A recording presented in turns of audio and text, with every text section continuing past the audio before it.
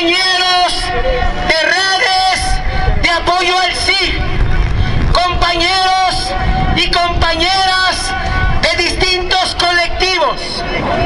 El día de hoy,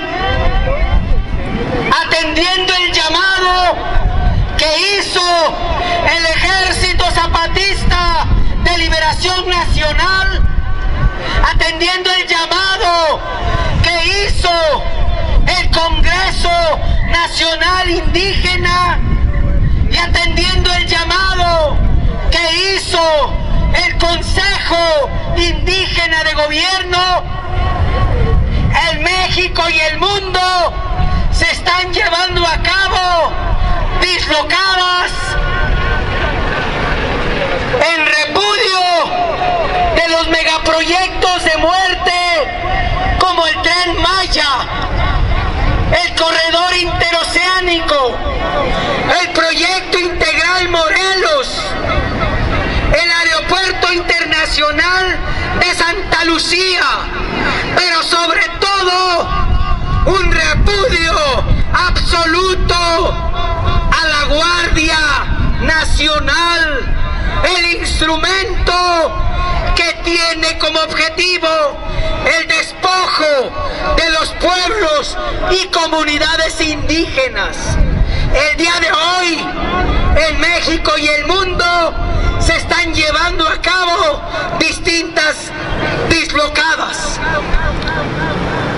Esto responde a que el día de hoy, hace un año, asesinaron al compañero Samir Flores Soberanes. Samir vive. Samir vive. El día de mañana, a las 4 de la tarde, estamos convocando a una marcha nacional en repudio a los de muerte para partir a las 4 de la tarde de este mismo punto. Aquí habrá un mitin muy breve. Nos trasladaremos a la Fiscalía General de la República donde llevaremos a cabo otro mitin para exigir verdad y justicia para nuestro compañero Samir. Y tarde nos trasladaremos en una marcha nacional hacia el Zócalo de la Ciudad de México para exigir verdad y justicia por el asesinato del compañero Samir.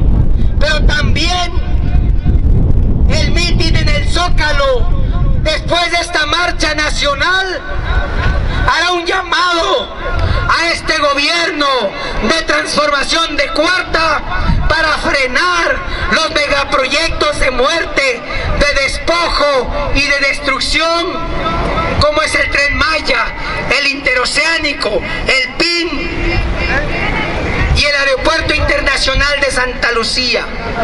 El día 22 a las 6 de la mañana, distintas organizaciones de esta ciudad y del territorio nacional saldremos rumbo a Milcingo para llevar a cabo una asamblea nacional donde haremos un balance de las jornadas en todo el territorio nacional y más allá de nuestras fronteras. Pero también las formas de organización externa y externa, pero lo más importante, discutiremos un plan nacional de lucha, un plan de acción para frenar el despojo, la muerte y el desprecio que impone este gobierno federal y su política neoliberal a los pueblos y comunidades indígenas del México profundo. ¡Zapata!